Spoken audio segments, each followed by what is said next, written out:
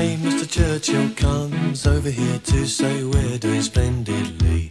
But it's very cold out here in the snow, marching to and from the enemy. Oh, I say it's tough, I have had enough. Can you stop the cavalry?